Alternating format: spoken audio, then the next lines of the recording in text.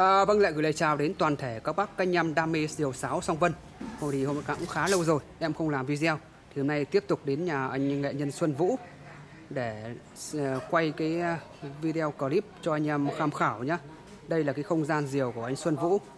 À, anh làm khá là nhiều đấy để cho anh em uh, trên mọi miền tổ quốc tham khảo nhé.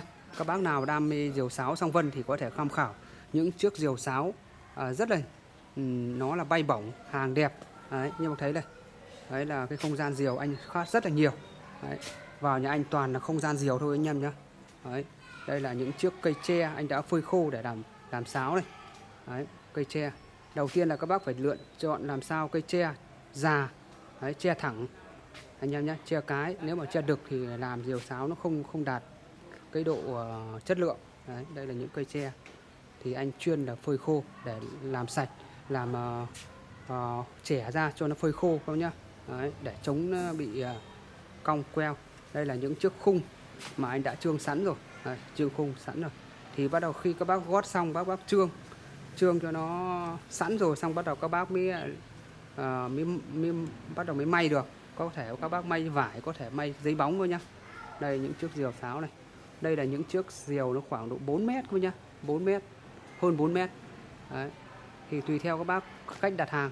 Khách thì thích diều bằng à, vải giấy bóng. Có khách thì khách khác à, đặt cái loại diều vải anh em nhé. Đây. Vào những anh toàn là diều thôi anh em nhé. Số lượng rất là nhiều để phục vụ cho mọi miền tổ quốc. Đấy.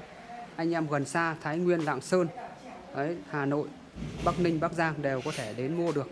Đấy. cái diều này thì không ship được anh em nhé. Các bác nếu mà có xe tải hoặc đi nếu mà tiện chuyến đi qua Bắc Giang thì có thể ghé thăm để mua thế còn à, các bác à, ở xa thì chỉ ship được sáo thôi anh em nhé Đấy, sáo thì à, rất là nhiều mẫu sáo sáo dàn có sáo đơn có anh em nhé Đấy.